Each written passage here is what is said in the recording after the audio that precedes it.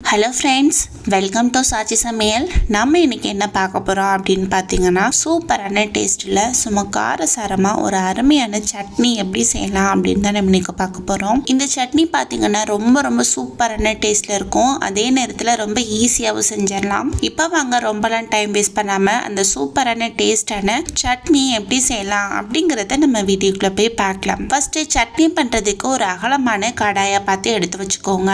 அந்த கடாயில் பார்த்தீங்கன்னா ஒரு ரெண்டு ஸ்பூன் அளவுக்கு எண்ணெய் சேர்த்துக்காரலாம். எண்ணெய் நல்லா காஞ்சதும் இதில் ஒரு அரை ஸ்பூன் ஜீரகம் ஒரு நாலு பல்கிட்ட பூண்டு அடுத்ததா ஒரு பத்து போல குண்டு மிளகாய் வத்தல் எடுத்து வச்சிருக்கேன். அதை இதில் சேர்த்துக்காரலாம். அடுத்ததா ஒரே ஒரு கைப்பிடி அளவுக்கு வேர்க்கடலை.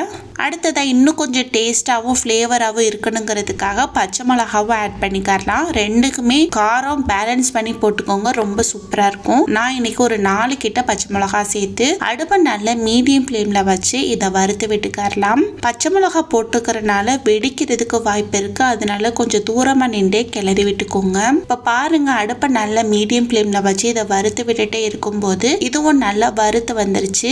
இந்த டைமில் இதை எடுத்து ஒரு பாத்திரத்தில் வச்சிடலாம் அடுத்ததாக மீதி இருக்கிற எண்ணெயில் பார்த்தீங்கன்னா ஒரு பெரிய சைஸ் அளவு கிட்ட வெங்காயத்தை எடுத்து சும்மா ரஃப்பாக கட் பண்ணி வச்சிருக்கேன். அதை இதில் போட்டு நல்ல ஒரு கண்ணாடி பதம் வர வரைக்கும் வதக்கி விட்டுக்கரலாம் பெரிய வெங்காயம் பிளேஸ்ல நீங்க சின்ன வெங்காயம் கூட சேர்த்துக்கரலாம் ரொம்ப ரொம்ப சூப்பரான டேஸ்ட்ல இருக்கும். இப்போ பாருங்க வெங்காயம் நல்ல ஒரு கண்ணாடி பதத்துக்கு வந்துருச்சு. இந்த டைம்ல இதுல ஒரு ரெண்டு கிட்ட மீடியம் சைஸ் அளவு தக்காளி பழம். அடுத்ததா தக்காளி நல்லா வதங்குறதுக்கு தேவையான அளவு உப்பு அடுத்ததா சின்ன துண்டு புளி. பாருங்க இந்த சைஸ் அளவு போட்டா கரெக்டா இருக்கும். இப்போ இது எல்லாத்தையும் சேர்த்து நல்ல மீடியம் ஃப்ளேம்ல வச்சு வதக்கி விட்டுக்கரலாம் நம்ம போட்ட தக்காளி வெங்காயம் இதெல்லாம் நல்லா சாஃப்டா வதங்கி வரட்டும். இப்போ பாருங்க சூப்பரா இது நல்லா சாஃப்டா வதங்கி வந்துருச்சு. இந்த அளவுக்கு இது வதங்கி வந்த பிறகு இதை எடுத்து ஓரமா வச்சிடலாம் அடுத்ததா ஒரு மிக்சி ஜார் எடுத்து வச்சுக்கோங்க.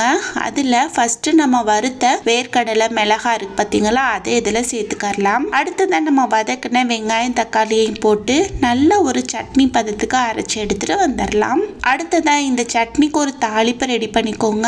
அதுக்கு ஒரு கடாயில ஒரு ஸ்பூன் அளவுக்கு எண்ணெய் கடுகு உளுந்து இது ரெண்டும் மட்டும் போட்டு ஃபர்ஸ்ட் நல்லா பொரிச்சு விட்டுக்கரலாம். நம்ம போட்ட கடுகு ஓரளவுக்கு பொரிஞ்சு வந்த பிறகு இதுல ஒரு ஒரு கொத்தளவு கிட்ட கருவேப்பிலையும் போட்டு அதையும் சேர்த்து நல்லா மிக்ஸ் பண்ணி விட்டுட்டு கேஸை ஆஃப் பண்ணிட்டு இதோட சூட்டை தணிக்கிறதுக்கு கொஞ்சமா தண்ணி ஊற்றி அதையும் சேர்த்து நல்லா மிக்ஸ் பண்ணி விட்டுட்டு நல்ல சூடு தணிஞ்ச பிறகு நம்ம அரைச்சு வச்சிருக்கிற சட்னி எடுத்து இதுல ஊற்றி நல்லா மிக்ஸ் பண்ணி விட்டுட்டு சர்வ் பண்ணீங்கன்னா சூப்பரான டேஸ்ட்ல இருக்கும். இட்லி வைக்கும் போது இந்த சட்னியை வச்சு கொடுங்க. ரொம்ப விரும்பி சாப்பிடுவாங்க. ரெண்டு இட்லி சாப்பிட்ற இடத்துல ஒரு அஞ்சு டு ஆறு இட்லி கூட சாப்பிடலாம். கண்டிப்பா ட்ரை பண்ணி பாருங்க.